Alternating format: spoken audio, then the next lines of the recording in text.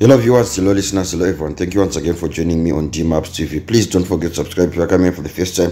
Very regular, just do the usual. Please like and comment and also share our video so that others may also see what we do. Eh, because what we do is we give you current affairs in real time. So yes, we just learned that Nelson Chamisa, the leader of Zimbabwe's opposition party, the Citizens Coalition for Change, has stated that he would rather engage with ZANU-PF than Sengezo Tshabangu, whom he referred to as a ZANU-PF puppet.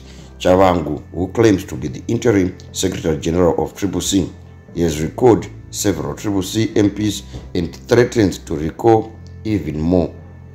Chamisa and other Triple C officials argue that Chavangu is not a member and that the Triple C does not have a Secretary General position as claimed by him. According to law experts, what Tshabangu actually did was to beat Triple C at their own game after realizing the void created by the structureless structure uh, accession. Went on to fill that void and beat Triple C in submitting the constitution to Jacob Denda and also in submitting the letter approving stating that he is the one uh, responsible for doing the records. And after doing so, and that ZANU-PF saw that it could also use that same route to to effect the records. That is what then happened. So, responding to a follower who was urging him to never negotiate with Tshabangu and his team, but rather let them go and form their own party. Chamisa said, I would rather engage the puppeteer than the puppets. ZANU-PF is behind all this embarrassing nonsense. They are the engineers of this tomfoolery.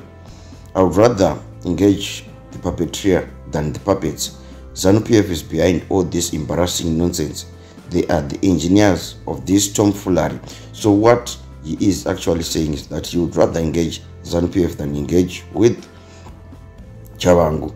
But we, what we do not know, what, what we also know is that ZANU-PF does not mind being called what they are doing is embarrassing or whatnot. They will just do what they will.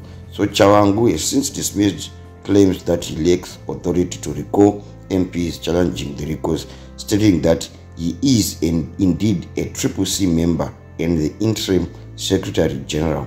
He also argues that those making the accusations failed to provide evidence to support their claims or prove their own membership. Tshabangu also criticizes Triple C supporters for using the ZANU-PF puppet label to discredit any party member with diverging views. So what is happening now, ladies and gentlemen, is that this court, is, this case is now before the courts. But there are three members of ZANU-PF who have since made a decision concerning this issue. So what is most likely to happen is that these recalls will never be defaced. At first, it was Jacob Mudenda who effected the recalls. Then there was Minister Chitando who also recalled councillors on the basis of Tshabangu's uh, recall letter.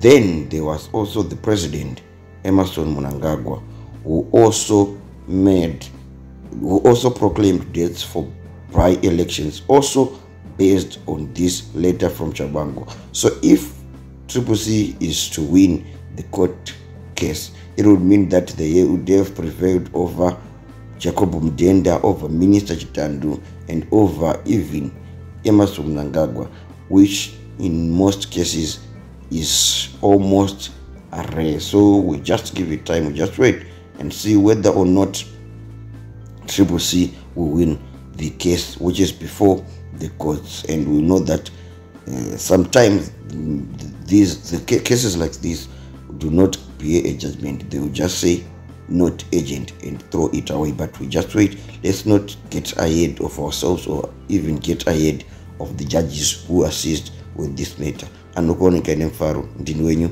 Honorable Madiva.